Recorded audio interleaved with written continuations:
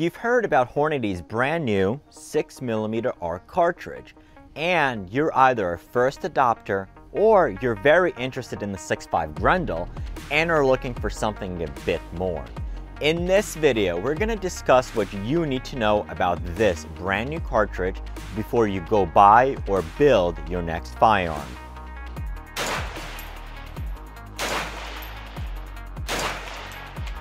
What's up everyone? Welcome Slav Squad and welcome to Slav Guns. I'm glad to have you here. Earlier this year, gun owners learned of the new 6mm advanced rifle cartridge when it was filed with SAAMI. Experienced gun owners did not have to think too hard to realize that it was Hornady's brand new cartridge. After all, simply looking at the name, PRC, ARC, it rhymes. And just this summer, Hornady made the public announcement. So, what is the brand new cartridge? Who is it for and should you consider it? Let's take a look. 6mm ARC is very similar to another cartridge that has been around for a bit, the 6mm AR, both of which are variants of the 6.5 Grendel cartridge, which itself is a variant of the 7.62x39 Russian cartridge found in the AK-47 and designed in 1943 and also used on firearms such as the SKS. While there are some small differences, the main premise behind the variant change is to take the original 308 caliber bullet in the 7.62x39 and replacing it with something that's going to be a bit smaller and more streamlined. What this is going to accomplish is that you're going to have a round that's going to be able to be shot at further distances at higher velocities. While it is true that the smaller bullets are not going to have as much energy leaving the muzzle, they are going to be more effective and carry more energy downrange. This was the central premise behind the 6.5 Grendel and what makes it a great intermediate hunting cartridge. There were, of course, people who decided to take it one step further and came out with a number of Wildcat cartridges that necked down either the 6.5 Grendel or the 7.62x39 case down to 6mm with or without other changes to the case. Hornady took it a step further to standardize the cartridge and SAAMI spec their 6mm variant and thus the 6mm ARC cartridge is born. So, is 6mm ARC a solution in search of a problem, or does it solve something? That is a great question and one that came up as a comment on one of my live streams. 6mm ARC originated from a Department of Defense request for an unspecified unit. As you may know, in recent history, the average engagement distance has grown, with many enemies now being beyond the practical limit of 556, which is around 5 or 600 yards. Yes, you can shoot a 556 caliber round further, however, it's good for punching paper, but it's simply not going to have the energy to put down anything else. The answer is, of course, and has been the 308 and 6.5 Creedmoor cartridges. There is, however, a price, a big price. Both calibers require a larger firearm, and in the case of a semi-automatic AR, the AR-10, a significant increase in weight and a big limit to magazine capacity. 6mm ARC is the proposed solution to that problem. While it doesn't have the energy or stopping power of 6.5 Creedmoor or 308 at closer distances, 6mm arc does outperform 308 at longer distances, as the heavier 308 bullet starts losing meaningful velocity. As designed, 6mm arc stays supersonic out past 1,000 yards. A good analogy for this would be as follows. Would you want to be run over by someone weighing 100 pounds or 300 pounds? But what about if it's after they run a mile. I'll pick the 300 guy, 300 pound guy any day of the week because they mostly have exhausted their energy and they're not going to be coming at you at the same velocity. Energy is a byproduct of bullet weight and velocity. Near the muzzle, a bigger bullet will produce significantly more knockdown energy. However, as you force that bullet to fly longer, the bigger heavier projectiles will bleed off energy much faster than a more efficient and streamlined lightweight projectile. This is 308 versus 6mm ARC in a nutshell. In a different video, we will be taking a look at the differences and compare the 6mm ARC versus a number of alternatives, such as 223, 65 Grendel, 65 Creedmoor, 308, and 224 Valkyrie in more detail. Moving on, does 6mm ARC have staying power? There is a risk to being a first adopter, and gun owners have seen calibers hyped up before only to slowly fade into history. The most recent example of which is 224 Valkyrie. Admit it, it's dead. The good news is 6mm ARC and its close variant have been around in the Wildcat community for some time now, and there have been a number of other 6mm 7.62x39 variants, many of which are actually used in bench rest precision shooting disciplines. Furthermore, since its launched, we've had many good signs in what I feel is needed for the caliber to survive. First, this is very much a hand loader friendly cartridge. Being based off of the 6.5 Grendel and 7.62x39 cartridges, there's plenty of brass available. Furthermore, being 6mm, there are many bullet choices available, unlike 224 Valkyrie, which while being 224, was designed around a new 90 grain Sierra bullet. Further adding to the staying power, since launch, we've had Hornady, Lee, and RCBS announce reloading dies for the new cartridge. We haven't had this with other cartridges so quickly. What this means is that in the unlikely event that 6mm ARC falls into oblivion, you would still be able to load your own ammo without many issues. There's plenty of 6.5 Grendel brass and there's plenty of 6mm bullets. We've also seen good signs on the commercial side, although the current crisis and associated buying spree hasn't helped. So let's break this down into three parts. Ammo, firearms, and parts to build your own. So, there are three types of ammo available and all three come from Hornady. 6mm ARC Match, 6mm ARC Black, and an announced but unreleased Precision Hunter. While the cartridge was designed around a heavier, longer, slimmer projectile, the cartridge has shown that would be an awesome varmint round with lighter weight bullets.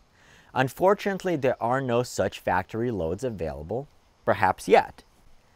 The cartridge is currently SAAMI spec'd so other manufacturers can produce it, but for now we only have Hornady.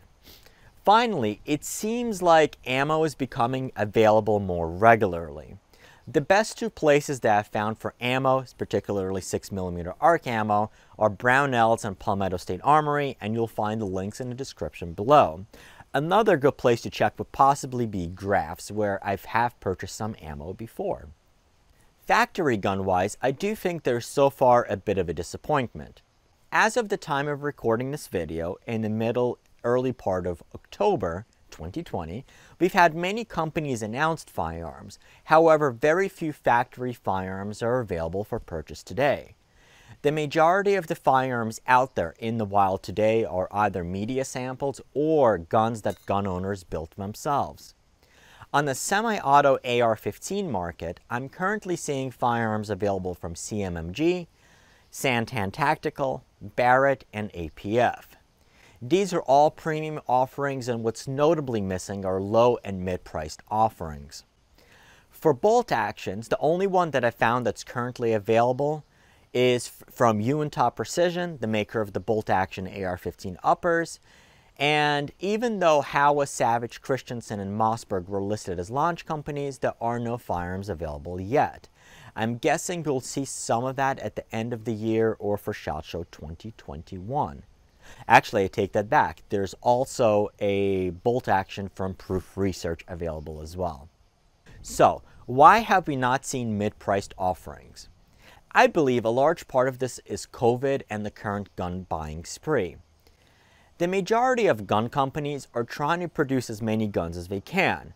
There's little business sense to produce a newly launched niche caliber when you already cannot meet the demand for plain Jane vanilla 223. And the reason why the guns that are available today are as expensive as they are, well, for using this barrel. the carbon fiber wrap barrel from Proof Research with a street price of around $800 by itself. So moving on, what about the parts? This is where we have the most availability right now. As I stated before, I believe the vast majority of 6mm arc chambered firearms out there in the wild today are guns that were built, built sorry, either brand new or converted from 6.5 Grendel. Because this caliber is based off of the 6.5 Grendel cartridge, you're either one or three parts away on an AR-15. For an AR-15, if you already have a 6.5 Grendel firearm, all you need to do is change out the barrel and most likely the gas tube as 6.5 Grendel is generally going to use a different gas system than 6mm ARC. You would reuse the same bolt carrier group and bolt along with the magazines. If you have an AR-15 in a different caliber, then you would need to, a new barrel, a new bolt carrier group, and magazines as you cannot use standard 223 caliber magazines. You need a different bolt carrier group because the bolt face is different on 223 versus the larger 762 by 39 bolt face as we see on the 6mm ARC, 6.5 Grendel, and other variants. Magazine wise, you would need to use 6.5 Grendel magazines, um, either metal mags such as those from Elander, C Products, or Duramag, or these brand new polymer magazines from 6.5 for 6.5 Grendel from Amend2. The one part not mentioned yet is going to be the gas tube and you'll either need to get a new one which will come with the barrel such as the proof or you will need to purchase a new one. So let's focus on the barrels. The great news is there are currently barrels available and announced for any budget. I have three such barrels here which are the basis of my builds. At the top end, you have options from both established companies and smaller precision-focused custom builders. The one barrel already mentioned is this carbon fiber wrapped 18-inch barrel from Proof Research, and it is the barrel that's used in a number of high-end builds. This barrel features a 1 in 7.5 twist, 5 8 by 24 threaded muzzle, and a rifle plus one gas system. This barrel has absolutely the best fit and finish I've seen, particularly when it comes to the carbon fiber wrap. You cannot feel the seam here at all. If you want the best and you can justify the cost of a mid-priced AR-15 on just the barrel, I highly recommend it. I have a build in mind for this barrel and I hope to complete it soon. If you don't need carbon fiber and you want something that was handcrafted or designed for you, there are also options available for that. You have at least three or four barrel, I'm sorry, you have at least three or four custom barrel makers who can spin you up a barrel to your specifications, including the length, the twist rate, and the gas system. What I have here, and the one I'm most excited about, is the 24-inch barrel from T-Box. T-Box is a small manufacturer with a focus on precision through attention to detail. Once again, the fit and finish on this barrel is top notch, and what's great is that T-Box included a matched bolt with the barrel. For this barrel, we went with a 1 in 7 twist rate, 5 8 by 24 threaded muzzle brake, and once again, a rifle plus one gas system. I also took their Mickey MCE, because it looks like Mickey ears, uh, muzzle brake, which seems to do a really good job. These barrels are typically not an in-stock part, but they are instead made to order and are very reasonably priced at just under $500 when purchased from Sergeant of Arms. Link in the description below. The barrel is expected to be a tack driver and this is the gun that we'll use to push 6mm arc to its limits. Maybe really crazy limits. At the lower end of the price spectrum, you have options from a number of companies. The launch partners included Faxon, Ballistic Advantage, and CMMG, all priced around 200 to $300. Ballistic Advantage did a run of barrels for launch, which I have not seen since, and CMMG barrels are now available on their website. Where it gets interesting is with Faxon and this barrel, the 14.5 inch Faxon manufactured, but specced and marketed by Brownells. Faxon is planning on making their own spec barrels for later this year. For bolt action rifles, there are even more choices, and almost any competent gunsmith or barrel manufacturer would have 6mm arc reamers and would be able to spin one up for you. While I do not have the guns built yet, we should have two builds including barrels from Oregon Mountain Rifle and Patriot Valley Precision, both of which should shoot lights out. I recently received this carbon fiber wrap barrel from Oregon Mountain Rifle Company, and the fit and finish on it is superb. Furthermore, my friend Logan over at uh, Preferred Barrel Blanks should be able to spin you up a 6mm arc chambered barrel to your specifications for your choice of bolt gun as well. There are, however, some points which you must consider and I hope do not create issues for the caliber. The first one relates to twist rates and the inconsistencies we found in the industry when it came to 224 Valkyrie, which prevented a smooth launch. Hornady designed the 6mm arc cartridge around a 108 grain bullet fired through a 1 and 7.5 twist barrel. This is precisely what we have in the launch barrels from Proof Research, Odin Works, and CMMG. However, there are a number of companies that deviated away from that, namely this Brownell spec barrel, manufactured by Faxon, and along with a number of others I might have missed. They decided to go with a 1 in 8 twist rate for their barrels. The problem here is that the slower twist rate will have an impact on stabilizing bullets, especially if you live at sea level or in cold temperatures. As per the Berger stability calculator, a 1 in 8 twist rate barrel will be marginally stable, whereas a 1 in 7.5 will be stable with a 108 or 110 grain projectile. This is why for this T-Box 24 inch barrel, we went with a 1 in 7 twist even faster to increase stability around where I shoot, the northeast, closer to sea level, and where the goal is to shoot heavier projectiles. Also in the AR-15 world, there is a second potential issue around the gas system. The initial barrels, once again, Proof, Odin, and CMMG, all went with what we have here, an XL or a rifle plus one inch gas system, just like we see on this 18 inch Proof barrel. The Brownell's barrel, also 18 inches, is a mid-gas length system, and some others in this 18 inch range tend to bounce between rifle and rifle plus one. Again, if you're building your own barrel, you can ask the barrel manufacturer for a gas system of your choice.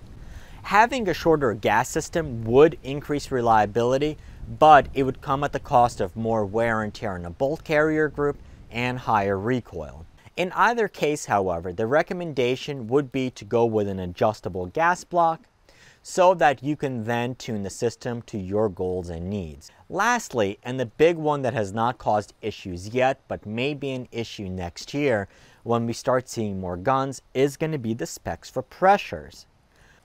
Hornady designed the cartridge for the AR-15 semi-auto platform with maximum average pressures of 52,000 psi. The cartridge, however, is also quite suited for bolt guns, which can sustain higher pressures and where you can get another 250 to 300 feet per second velocity-wise, and that's a big deal. So far, the only factory bolt-action guns chambered in 6mm arcs are those by Uintah Precision and Proof Research. Once Howa, Savage, Mossberg start producing their guns, and then we hopefully see 6mm arc chambered guns from Ruger, we may end up with a situation where there's ammo spec just for bolt guns. The reality is 200 to 300 feet per second is just too much to leave on the table. This would then possibly cause issues and confusion with the retail public on various specifications for the caliber. Would we have a 6mm arc auto and 6mm arc while we wait for someone to blow up for a new AR-15 loading hotter bolt action rounds in it? Or do we have one standard cartridge with unrealized potential for anyone with a bolt gun who doesn't reload? And here's the thing. I'm not the only one concerned about this. At least one person I spoke with working for companies that I'm not going to mention but they are looking at 6mm arc, as everyone should. They are concerned about this potential confusion, and we have seen this before in the past with the launch of 6.8 SPC.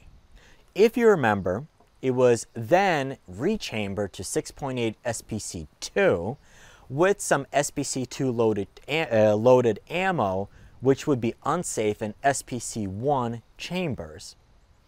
Will this be an issue? Perhaps, but I am optimistic.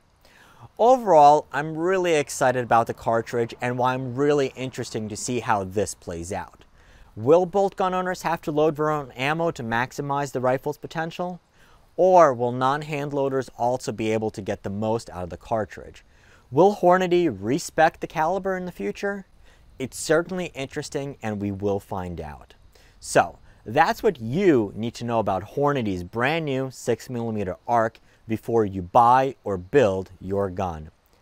In future videos, we'll take a closer look at how the cartridge compares to some other peers, and I'm really looking forward to sharing with you these two 6mm ARC builds and the third build around the Proof Research barrel. So, are you excited for 6mm ARC? Are you planning on buying or building one? Or perhaps you've done it already? What questions do you have? Leave them in the comments below. I look forward to the discussions. As always, thank you for watching, keep on spotting, and I'll see you next time.